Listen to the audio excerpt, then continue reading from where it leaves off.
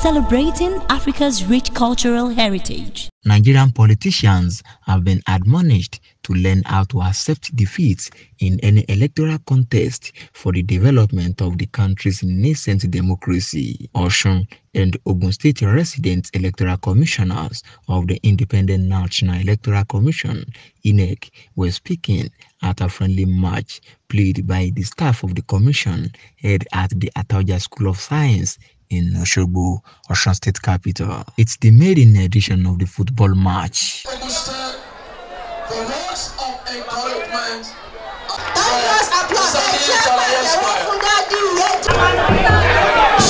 díẹ̀ ìrìn àjò èkìtì ẹni.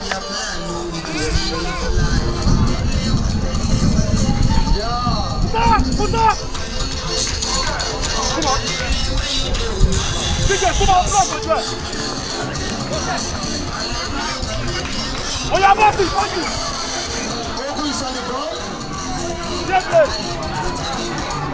Aṣọ. Both teams represent Osun and Ogun State INEC. They were all gathered here with their supporters to entertain spectators. Aṣọ.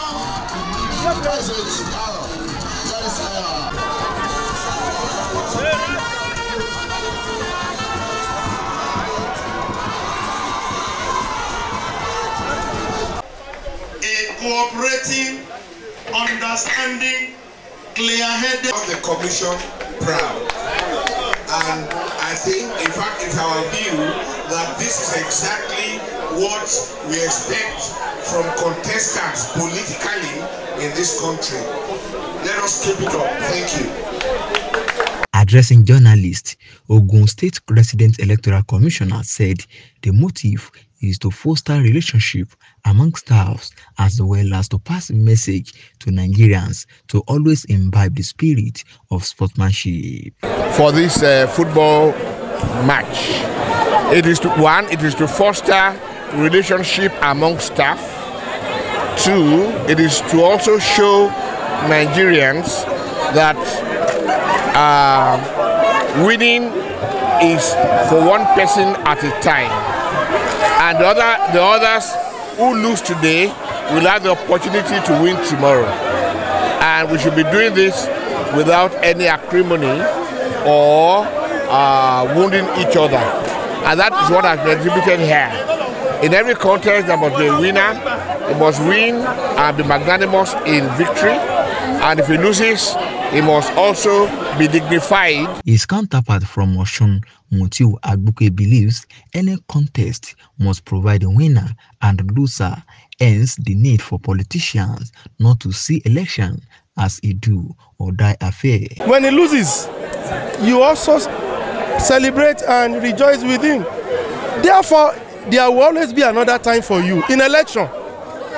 If you conduct election today, somebody wins. You don't insist that why must he win? You don't insist that it must be disrupted. You don't insist that violent violence must be unleashed, terror must be unleashed, vote buying must be unleashed. That is what we are saying. When somebody has won, INEC has declared, let us allow it to go and wait for the next four years or another time, as it as the case may be. We want people to know that in a football match, if you win, you win. If you lose, you lose. If there is a draw, there is a draw. You cannot fabricate, you know, winning or losing. And that is the message we are passing to the politicians. We are going to uh, Kogi State. We are going to Bayelsa. We are going to Imo. In Imo and Kogi State, violence everywhere. The commissioner has come out to say officially that the pace of violence is a threat to this coming election. People should just relax. There will be another time. The match ended goalless after nine minutes of play. Both teams were given cash gifts at the end of the match. Opeyemi Akinyemi, ABN TV News, Osun State, Nigeria.